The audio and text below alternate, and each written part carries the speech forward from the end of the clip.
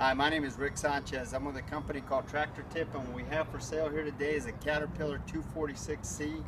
It's a two-speed uh, enclosed cab uh, skid steer. We're going to talk a little bit about the mechanics of this particular machine in the first clip, the operating specs in the second. We'll run it in the third. Price on a new machine like this these days is probably about $65,000, equipped the way it is with an enclosed cab. This machine uh, has got 1,382 hours on it. As far as manufacturers go, CAT's number one in the world of heavy construction, mining, and utility equipment. Um, this machine weighs 7,400 pounds. The widest point are these tires right here at 5 foot 8 inches. The buckets that we've got for them for this machine are about 6 foot 1 inches. So we've got different buckets. We'll get into that here in a little bit. The highest point is the top of that cab at 7 feet. The transportation length varies depending on what size bucket you put, but it's anywhere from 12 foot 2 inches to 12 foot 6 inches from the rear end of the counterweight to the front of the bucket. As far as the history of this unit goes, this machine is what we consider in the industry a DORF machine, D-O-R-F. What that acronym stands for is a dealer-owned rental fleet machine. So what does that mean? That means that this machine was we bought it as a dealer and whoever buys it from us will technically be the original owners of this machine because um, they kept it in their rental fleet. And uh, the other good thing about the uh, dealer-owned rental fleet machines is that uh, they're actually over-maintained. These machines the average rental on a machine like this is maybe about a week long. So if this machine was within 40 50 hours of its next service that dealer uh, went ahead and serviced the machine in its entirety. Uh, the machines that we bought from this particular dealer, they've all been great machines. We're happy with them. And it should be said that before I buy any machine, my mechanics uh, thoroughly inspect the machine. And uh, before I write a check for a machine, I go out and I inspect it as well. Um, as far as uh, options go, as you can see, this machine has got an enclosed cab.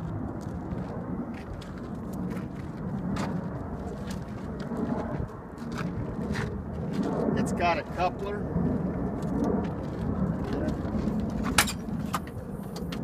It's got a coupler that disconnects in the cab. Go ahead and show them that. Okay. Uh, that little red button on the far right is the uh, automatic quick coupler on the machine. Um, oh, it's got a pattern control uh, change valve so you can go from uh, case to uh, ISO controls. Uh, this machine has got a AC, it blows ice cold.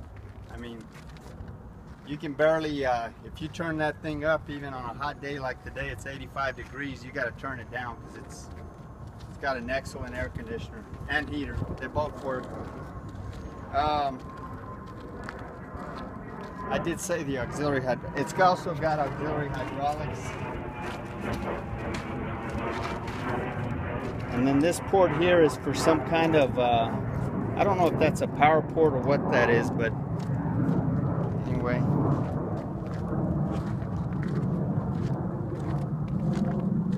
This machine is powered by a, uh, a 3044 uh, C DIT CAT engine. That's a bulletproof engine. Very common within the CAT uh, lineup. It's got a 26 gallon tank which will run you 12 to 16 hours depending on your uh, application. All the fluid levels on this machine are where they should be. This machine is mechanically sound. There's no leaks, absolutely no leaks. Everything on it works. Like I said, it's got a two-speed uh, transmission. That works just fine. No problems there. You know, the other thing that I should mention is that this thing, this machine has got some surface rust.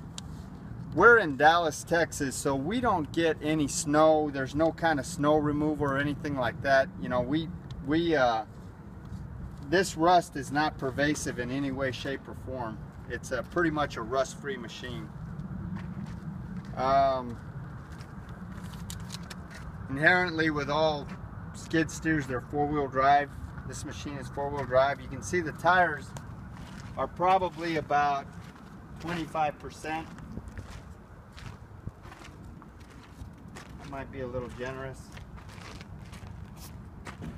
They're 12 by 16.5 tires. They all match. The hydraulics are strong on this machine. There's no cracks or welds anywhere in the work equipment.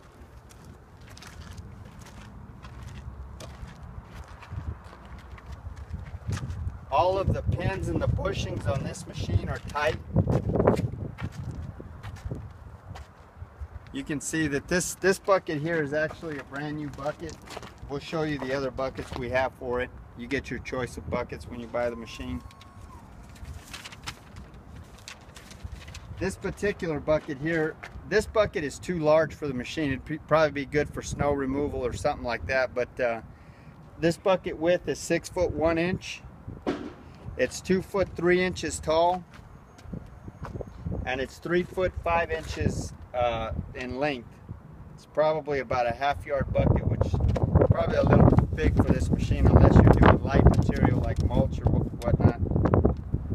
Um, the breakout force on this loader is 7,300 pounds. The lifting capacity is uh, 4,300 pounds, and the lifting capacity of this loader is limited by the by the tip load, which simply stated the hydraulics on this machine are so powerful that the machine will actually tip forward before the hydraulics give out. So the lifting capacity is limited by the weight of the unit or at the fulcrum, you know, going backwards. So it's 4,300 pounds. And the operating uh, weight is half of the tip load. So in this, what they call the operating weight in the industry is 2,150 pounds. We're gonna run it in the next clip. Okay, so here's the inside of the cab. Here's all of your controls, like for your auxiliary hydraulics, your lights. Um, this is your disconnect for your coupler. This is your uh, bucket uh, float, I think. Uh, this is your pattern control. You've got to select which pattern uh, control you want before you uh, before the machine goes. Your wiper control, door, throttle control. There's your. I don't know if you can see your foot pedal control right there. This is your uh,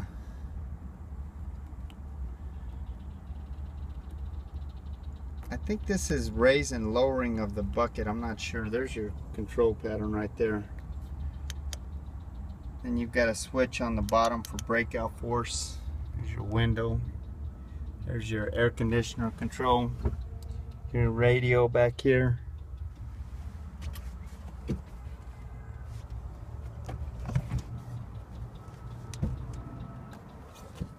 There's your seat the inside of the cab. It's a pretty roomy cab actually. Okay, so this is the way you do the quick coupler here. You press this thing down like this. You gotta press it. You gotta actually. Well, actually, it's released.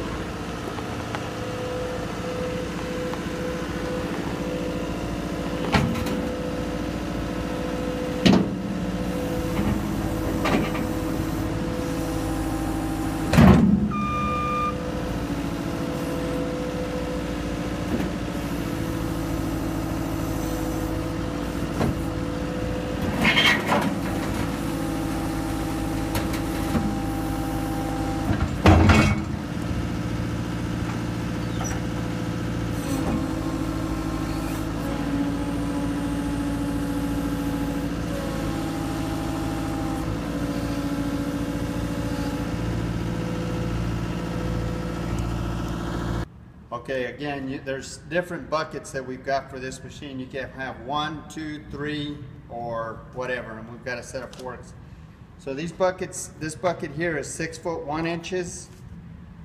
It's one and an eighth, one and uh, eight inches tall, and it's two, two feet deep. Cut?